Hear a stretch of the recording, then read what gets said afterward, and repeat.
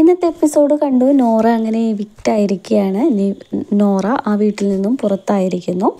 നന്നായി തന്നെ നോറ ഇത്രയും ദിവസം അവിടെ കളിച്ചത്. ഒറ്റയ്ക്ക് നിന്ന് കളിച്ചു നോറ.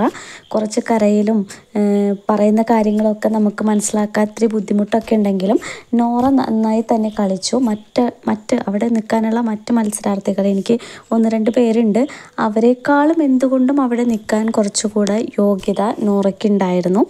പക്ഷേ നോറ ില്ലാത്തതുകൊണ്ടാണോ എന്താണെന്ന് അറിയില്ല നോറ എവിക്റ്റ് ആയിരിക്കുന്നു ലാൽ സാറ് ഫസ്റ്റ് തന്നെ ആരുടെ പറയണം എന്ന് പറയുമ്പം ചോദിക്കുമ്പോൾ നോറ ചാടി കയറി എണീറ്റ് നിൽക്കുന്നുണ്ട് അപ്പോൾ ലാൽ സാറ് പിന്നെ പറയാം ലാസ്റ്റ് പറയാം എന്ന് പറയുമ്പോൾ ലാൽ സാറിന് അറിയാം നോറയാണ് ഇന്ന് എവിക്റ്റാണ് എവിക്റ്റ് ആവുന്നതെന്ന് എനിക്കറിയില്ല എന്നൊക്കെ പറയുമ്പോഴും ലാൽ സാറിന് അറിയായിരിക്കാം.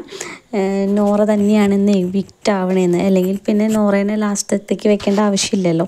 അപ്പോൾ അങ്ങനെ ഇത്തിരി വിഷമമുണ്ട് എനിക്ക് നോറ പോയാൽ എന്നുവെച്ചാൽ മറ്റുള്ളവരെക്കാളും അവിടെ നിൽക്കുന്ന ഒന്ന് രണ്ട് പേരെക്കാളും എന്തുകൊണ്ട് യോഗ്യത ഏഹ്, യോ ഇത്രയും കൂടി നന്നായിട്ട് ടാസ്കും അവിടെ ഗെയിം കളിച്ചിരുന്ന പറയാനുള്ള കാര്യങ്ങൾ മുഖത്ത് നോക്കി പറഞ്ഞതും ഒക്കെ എന്താണ് ഓരോ ടാസ്ക് വരുമ്പോഴും എല്ലാം എന്താണ് ജയിൽ ടാസ്കിലും മറ്റേ മോർണിംഗ് ടാസ്കിലും എല്ലാ ടാസ്കിലും ക്യാപ്റ്റൻസി ടാസ്കിലേക്കൊക്കെയുള്ള നോമിനേഷനിലും എല്ലാത്തിലും കറക്റ്റ് കാര്യങ്ങൾ പറയുന്ന ഒരാൾ നോറയായിരുന്നു.